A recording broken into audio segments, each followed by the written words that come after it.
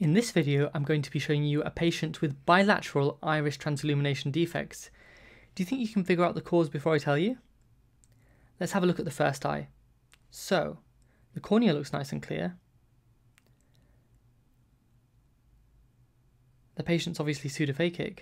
You can see there's actually some posterior capsular opacification there, some PCO. And that's when we look with direct illumination. Maybe some retroillumination will be a bit more helpful to make it more clear. So there we go, we can see that posterior capsular opacification. Just for reference, let's draw that on there. And that's the area through which the PCO might be causing some visual blur. And you can really see that it is really in the central visual axis. Let's carry on.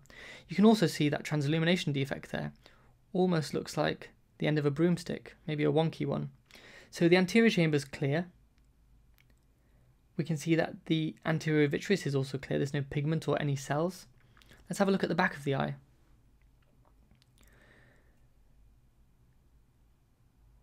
Now, I would say that the view of the fundus here, the optic nerve, the retinal vessels, is slightly hazy.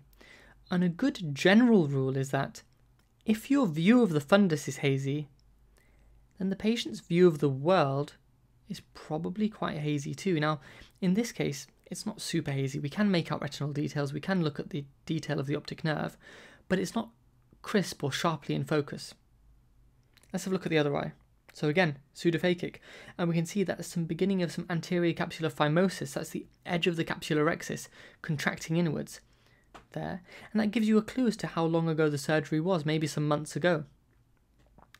And we can't really see as much posterior capsular opacification in this patient. The anterior chamber looks quiet, Anterior vitreous looks quiet, no pigment or any cells. Cornea looking nice and clear. Let's have a look at that retroillumination, maybe a defect superiorly. And there we go, we can see two defects in this patient. There are two transillumination defects, one superiorly, one at the side. And this patient hasn't had a peripheral iridotomy. Let's give you a clue now. So the patient has dilated small pupils, which aren't too large, and actually, as part of cataract surgery, they've had a pupil expansion device, a Malyugin ring used. And when you use such devices, you can cause some trauma to the iris, which do leave these transillumination defects. Here we can see the optic nerve, and the retinal details and the retinal vessels look a lot clearer. You can actually see some spontaneous venous pulsation there.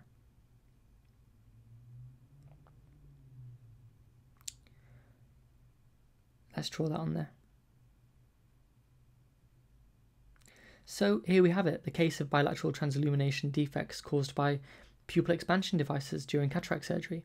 The patient is completely asymptomatic and very happy with the surgery outcome, but just be aware of this in the future if you see it.